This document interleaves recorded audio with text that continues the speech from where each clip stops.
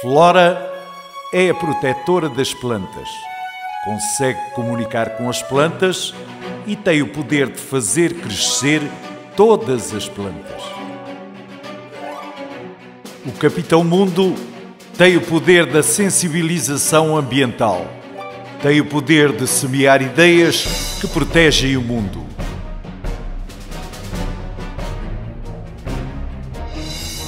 Amaralis é a protetora da fauna.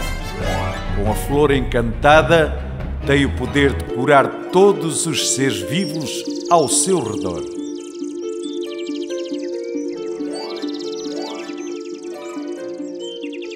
Super Negral é o protetor dos habitats. Quando toca a sua gaita de foles, a música protege todo o habitat.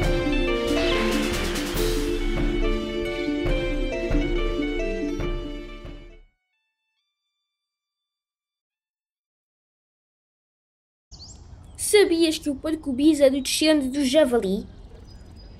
Segundo alguns historiadores, o porco da raça bízara resultou da domesticação pelo homem do javali europeu, animal selvagem que ainda existe nos nossos montes. Os porcos de raça bízara são animais grandes, de pelagem preta, branca ou malhada.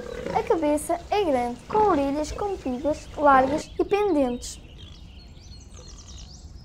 Ao contrário dos javalis, são animais dóceis, vagarosos e com movimentos pouco graciosos. E tu, sabias que o porco bízaro descende do javali?